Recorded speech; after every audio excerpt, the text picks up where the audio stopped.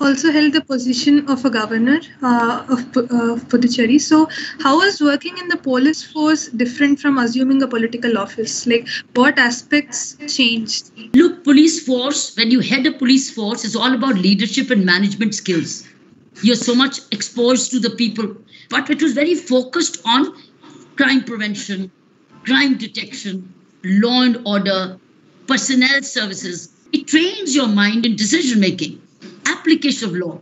Now, when it came to Lieutenant Governor Puducherry as an administrator, it is basically application of all your leadership and administrative skills. So police now was one part of it. All other departments, like 30 other departments, are part of an administrative work.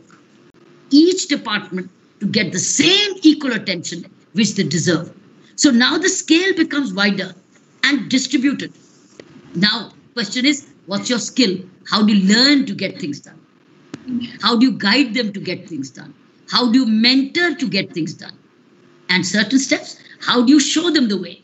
How do you do and say this is the way to do that's leadership qualities. And of course the new thing was which was the x factor was the political clout the political representatives the cabinet the honorable chief minister the cabinet ministers. Those i had not dealt with the way i had to deal with in as lieutenant. I think they were the new challenge for me.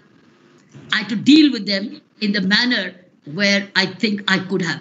And in the end, leaving a legacy behind as left Lieutenant Governor Puducherry, that the position of the left Lieutenant Governor is clear and strong and effective. By the way, let me tell you that the um, you are hearing today the powers of the left Lieutenant Governor Delhi have been have been corrected the new GNCT Act, which has come in, which has clarified the powers of the Lieutenant Governor of Delhi.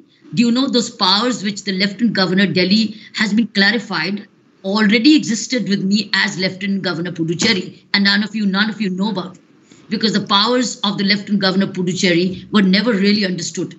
Only I knew it, and my team knew it, because one of the first things I did when I landed in Puducherry was read the Union Territory Act read the business rules and the financial rules. I had the law secretary to explain to me, and I read them. I knew my responsibilities and I started to act on them with the result that we could make minimum mistakes. Law. And every time the chief minister of the state took me to the court questioning that power, he lost. He lost. With the result in what it stands for, it's not a ceremonial position, it's a functioning administrator accountable and responsible and performing. Legally empowered, clarified by the Honorable Supreme Court and the Madras High Court. So these are the new factors. That is where my legal education and my PhD and my constant learning helped me to administer better and to lead the Union Territory in the direction, even though they kept challenging it in court after court, court after court, alongside the work I had to do because I was taking these right kind of decisions, which were not palatable to the elected government, because on certain financial matters, for instance, if I would say all the money which is coming from government of India should go direct transfer, bank to bank transfer. There's no need to buy rice. There's no need to no buy sugar. Why should we have a contractor pay commissions and distribute when money can be given transferred bank to bank? That's what government of India wants. Where's the need for a contractor and a commission and buying?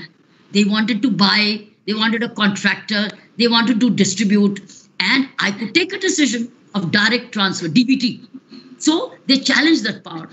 I went to the court, Madras High Court said no, DBT is fine. It's in alignment with the Government of India policies. And the Lieutenant Governor is right. DBT survived, which means everybody got, without any transmission loss, all the money which was meant for them. Why could I do it? Because I was very clear in what the law says, what the rule says, but we're willing to take a risk and go back to the courts of law. And the judiciary upheld it.